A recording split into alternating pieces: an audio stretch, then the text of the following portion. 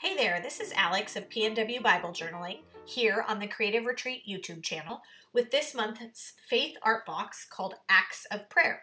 It's written by Julie Cassell and the design is by Danielle Wingham.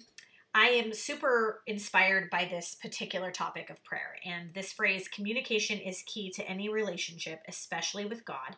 That's where prayer comes in, along with that very first reflection question, which says, What is prayer and why is it important? Um, that's what this was inspired my entry today. I know that prayer is an encounter with God and that it builds lasting relationship with him. That's why it's important. And so I noted that here on the devotional and then I decided encounter with God, encounter God in prayer was going to be my focus. This journal you see is actually an add-on this month and I'm literally smelling it because it's made from recycled apples. So if you're interested in grabbing one of those to dive into prayer through a journal, they're available in the shop. This is a stencil and I'm just using black ink. You saw me peel the pad off the back of the ink pad.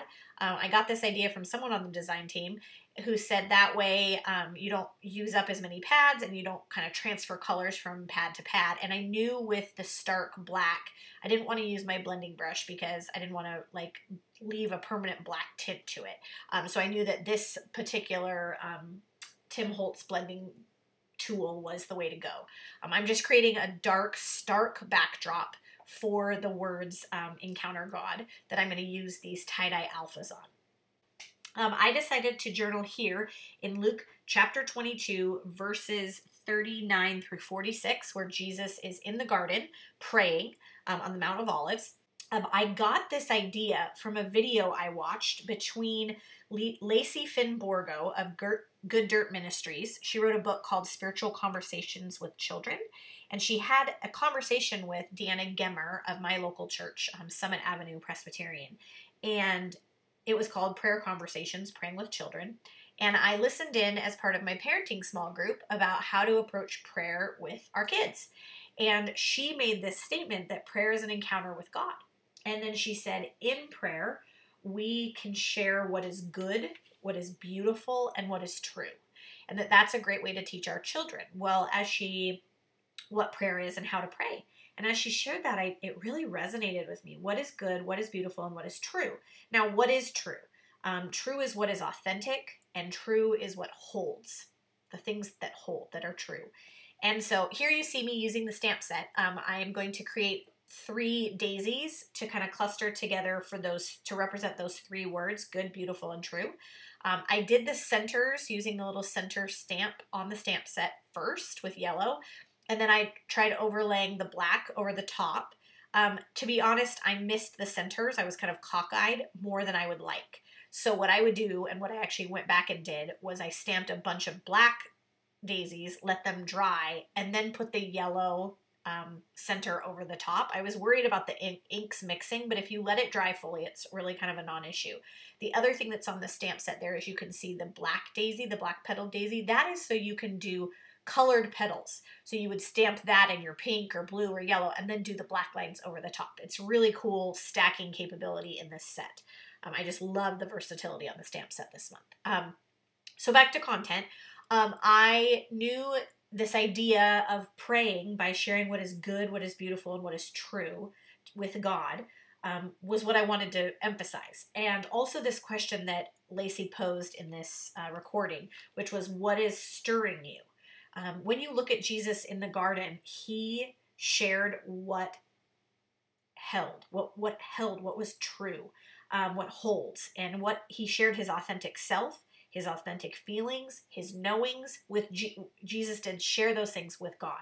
Um, and when he did, Jesus encountered God and he spoke to God what was stirring him. And reading Jesus's prayer here in the garden when he is in the final hours, you know, the, the final day of his life, um, it's pretty profound to realize um, he was crying out to his father. He was sharing what was true um, what was good, and even what was beautiful, uh, tragically beautiful. And there's so much, even in this prayer, that we just don't know. Um, that are we're left to sort of fill in the gaps, and sometimes that not knowing is really uncomfortable. um, but sitting in it and crying out in prayer, um, sitting in the unknown for Jesus, his crying out in prayer, is how he and we have encounters with God. And encountering God is how God builds relationship with us.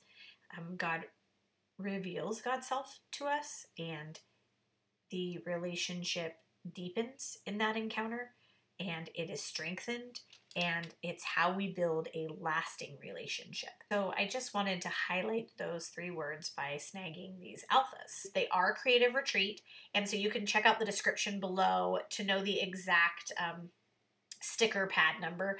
Um, they are kind of wonky letters in both the E in beautiful and later the E in true. I actually used the letter C and just kind of connected it with my pen to turn it into an E. A lot of times those letters you commonly use get used up really fast, and so I'm always looking for creative ways to reuse letters that I don't use as much.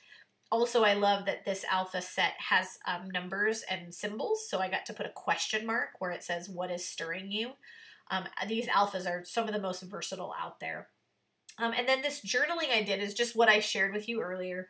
Jesus encountered God. He spoke what, what was stirring him.